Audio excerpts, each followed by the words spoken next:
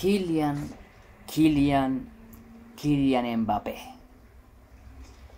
Kylian Mbappé se está diciendo que fichará por el Real Madrid. Bienvenidos a la sección reflexión de mi canal. Eh, os gustó mucho, ¿verdad? Pues quería reflexionar realmente, antes, evidentemente, daros la información relacionada con Kylian Mbappé y el Real Madrid, porque es llamativa, de dónde sale esa fuente, y pues luego daré mi reflexión a todo esto, ¿vale? Se está informando que un amigo muy íntimo de Karim Benzema llamado Mohamed Henny, ¿vale? Henny, em, pues bueno, ha dado la información de que Kylian Mbappé fichará por el Real Madrid, ¿vale?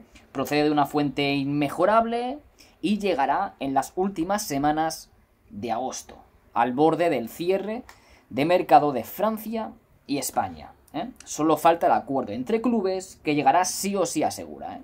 Sí o sí asegura. De hecho, tiene un canal lo, ha, informado en su canal de YouTube, que tiene más de un millón de, seguidores y tal.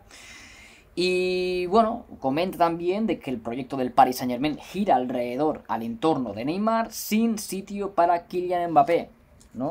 Absoluta solvencia, ¿no? Eh, de donde saca la, información, insisto, un íntimo amigo de Karim Benzema. Ya sabemos que eh, Kylian Mbappé pues termina contrato en, en junio de 2022. Em, es cierto que el país Saint Germain pues, ha intentado, o va a intentar de hecho, retener al francés, pero sí que es cierto que, claro, sabiendo la, la, decisión de Kylian, que es la de abandonar, abandonar exactamente no es la frase, sino que no va a renovar de nuevo con el país Saint Germain, evidentemente saben que o sacan tajada buena por él, sabiendo la cantidad que han gastado en nuevos fichajes, ¿eh? o se marcha gratis eh, eh, en 2022. Se marcha gratis, sin un solo duro, cuando pueden sacar mucha tajada. Ahora por Kylian Mbappé, a lo mejor 150 millones, 120 millones, 130, lo que sea, ¿no? claro, se arriesgan a eso se arriesgan a eso, ¿no? De, o sea, no es lo mismo que pasa con Haaland, porque Haaland sí que es cierto que, bueno, pueden sacar buena tajada por él este año, pero luego ya el año posterior tiene una cláusula de 75 millones, quien pague esos 75 millones se lleva a Haaland, ¿no? Luego, evidentemente, el, el, negocio, ¿no? El, el, acuerdo entre jugador y club, ¿eh? Para saber a qué equipo podía marchar Haaland, pero claro, ya el Dortmund recibiría algo, recibiría 75 millones. En el caso de Mbappé, no recibiría absolutamente nada por uno de los jugadores más prometedores del mundo. No prometedores, sino ya a nivel actual son de los mejores eh, jugadores del mundo. Bien, reflexión, señoras y señores. Está claro que ahora mismo está habiendo mucha controversia, se está hablando muchísimo de, del, tema de los audios de, de Florentino, ¿no? Se está hablando muchísimo. Eh, de que el presidente es un penoso, ah, lo, que, lo que queráis. Pero desde luego, en, a nivel empresarial, Florentino Pérez, después de haber sacado las cuentas del Real Madrid en épocas de pandemia y habiendo hecho un milagro, respectivamente, insisto, las cuentas, ¿no? En, en bueno, en, en, en recuperaciones y demás.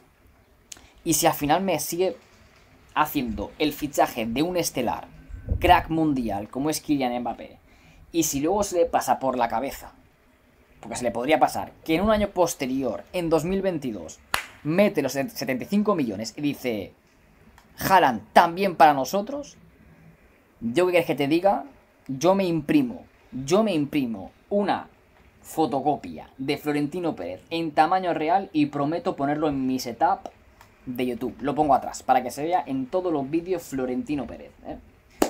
Eh, ¿A qué quiero caer con la, con la reflexión? Mira, yo os voy a decir una cosa, ¿vale? Yo, esto es lo que comenté ayer en mi, en mi cuenta de Twitter, me podéis seguir por allí, por cierto, JKCLive, también en Instagram, JKCLive, ¿vale? Pues si queréis eh, verme, pues fuera de, del ámbito YouTube, ¿vale? Ahí soy un poco más libre. Yo comenté, va a haber, bueno, de hecho el domingo, ¿no? El domingo eh, juega el Rangers Real Madrid, ¿no? El equipo de Steven Gerrard y el Real Madrid que va a disputar su primer partido de pretemporada, que de hecho intentaremos narrarlo en directo, porque creo que este partido se emite en Real Madrid Televisión, si mal no voy, ¿vale?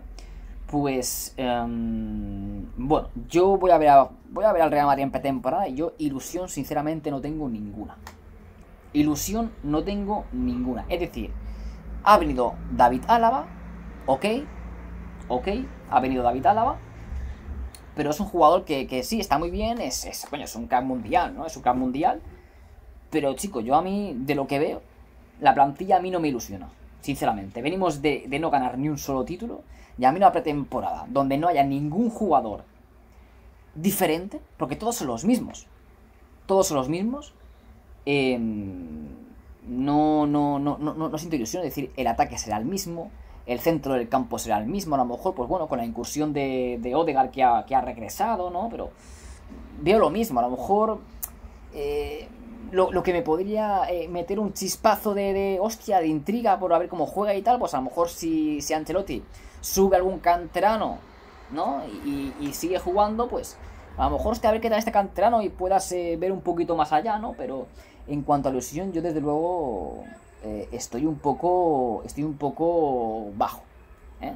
yo veré el partido del Rangers Real Madrid, pero yo recuerdo que en todos los en todas las pretemporadas que ha hecho el Real Madrid, quitando la última que no hubo pretemporada, si mal no voy, pues yo he tenido emoción porque han habido fichajes, algún fichaje que otro, algunas caras nuevas, y dices, joder, qué ganas tengo de ver a ver si a ver qué tal se rinde. En esta ocasión no, no tengo ilusión. No tengo ilusión. Ahora imaginaros, imaginaros que viene Mbappé, solamente con el nombre Mbappé una ilusión tremenda. O sea, esta, estoy desde aquí, de repente a subidón para arriba, ¿no? ¿Que el fichaje de Mbappé arreglaría la, plantilla del Real Madrid? Por supuesto que no. Por supuesto que no, ¿no? Y, y a mí lo que me llega a reflexionar a todo esto es que si no se ficha o se ficha Mbappé, van a haber muy pocos movimientos. Muy, muy, muy, muy pocos movimientos, muy pocos fichajes, muy pocas salidas, muy poco caras nuevas, muy poco. Yo creo que si fichan a Mbappé va a ser Álava y Mbappé, los fichajes del Real Madrid. Salidas, Barán. Barán, ya está, no cuentes más. Barán. Barán, tal vez a lo mejor Mariano, pero Mariano tampoco se quiere marchar. Pero van a haber muy pocas salidas. Isco va a seguir. Marcelo, que ya os retuiteé ayer lo de Marcelo. Marcelo, papel importante. Ancelotti quiere hacerle más importante que la temporada pasada, por favor, Zidane. O sea, por favor, Ancelotti, mejor dicho. Zidane no, ya no está Zidane. Por favor, Ancelotti. Qué bonito es. Qué bonito sería. ¿eh? Si Mendy finalmente pueda cuajar en el central del Real Madrid, Álava como lateral izquierdo y el suplente Miguel Gutiérrez. Pero no va a ser así, ¿no? No va a ser así. Eh, me da a mí la sensación me da a mí la sensación de que Marcelo va a jugar más de lo que se merece. Y eso me va a cabrear bastante. Y pasará lo mismo con Isco, que ahora mismo la prensa lo está inflando a Isco Alarcón. Lo está inflando. ¿eh? Mira qué golazos mete Isco en los entrenamientos. Isco, todo el mundo sorprendido con su estado de forma. El Real Madrid, Ancelotti los aficionados diciendo, ¿no? Es decir, Marca asegura que los aficionados estamos sorprendidos de la forma física de, de Isco. Y a mí no me consta. A mí no me consta que los aficionados estén sorprendidos por la forma de Isco. No me consta, ¿no? Decir, disparates, disparates para alimentar la figura de Isco y forzar que salga minutos. Tócate las narices. En definitiva, os quería dar la información principalmente sobre de que se afirma, según fuente fiable, según fuente fiable, según el amigo íntimo de Karim Benzema, de que Mbappé está hecho, eso que me llega a mí a entender que hay ya un acuerdo entre jugador y, Real Madrid, falta que el PSG eh, pues em, acceda, ¿no? Que según también dice va, a acceder sí o sí, porque sabe que va a perder dinero, puede perder dinero evidentemente, y aparte pues tiene que vender, porque coño, ha, fichado tanto que alguien tiene que dejar marchar, ¿no? Y, y no solamente basta con Baker, ¿no? Así que mi reflexión, no estoy ilusionado, no estoy ilusionado con este Real Madrid, pero si viene Kylian Mbappé, que ya sabéis que es mi jugador preferido, cambian muchas cosas. No cambia la plantilla, pero sí mi ilusión. En fin, dejadme en la caja de comentarios qué opináis al respecto. Un saludo. Me despido aquí de mi lugar de, de reflexión, mi lugar reflexivo. Y si os gusta, ya sabéis, un botón de me gusta, suscribiros al canal y más tarde, más vídeos. Chao.